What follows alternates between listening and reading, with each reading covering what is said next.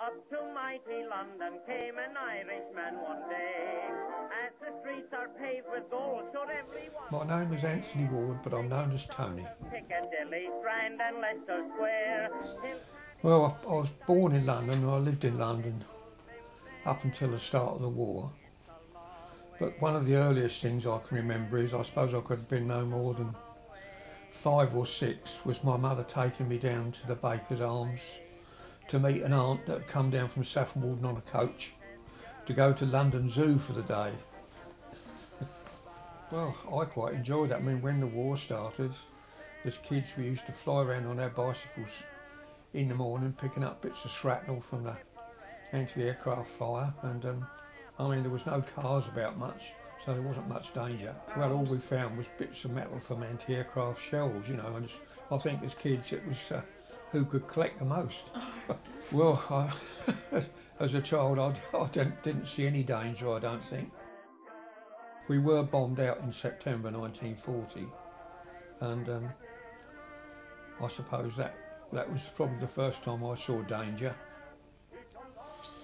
I mean, I can remember because I was sleeping. We all, all the family slept downstairs because of the bombing, and um, I can remember waking up and uh, the bed was all covered with bricks, and I could see a fire in the back garden, and I couldn't get out of the bed, and uh, being dragged out and taken down the road to the nearest air raid shelter.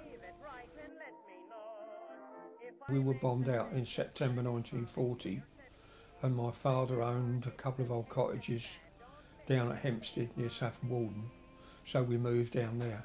The older brothers didn't come down but um, father and mother and my two younger brothers.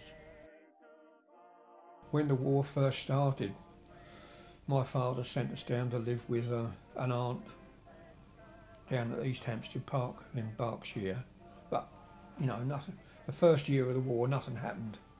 So uh, Oh. we came back to London again.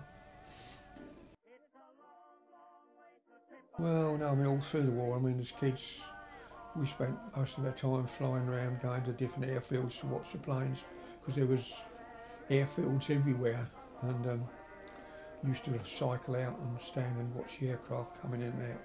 And most of them were Americans, and um, the Americans used to come round the village with lorries throwing out sweets to us. Mainly black Americans though.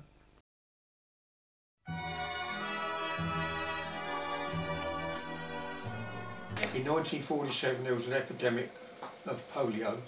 Well, people people became paralysed and died most of them, or they finished up crippled for life. It spread throughout the country, lots of people went down with it, and my mother was the only person in the village to catch it. Well, I think the worst I felt was, I mean, she'd been ill for, I suppose, two to three weeks, and the doctor kept coming out. Was he came one afternoon. My mother suddenly started to be paralysed. The next thing was she was taken in an ambulance to Mill Road Hospital at Cambridge. They let me into the room, but they wouldn't let me near her, wouldn't let me go any more. So the last thing I can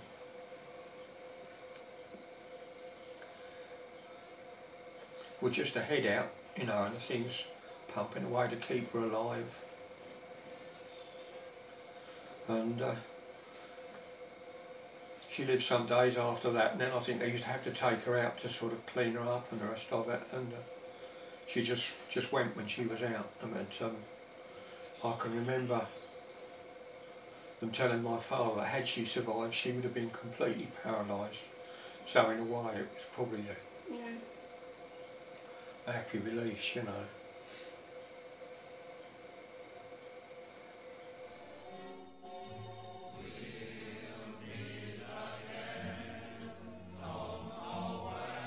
Enjoyed your life living through England in the end, or would you rather gone abroad? Most of the time. yeah.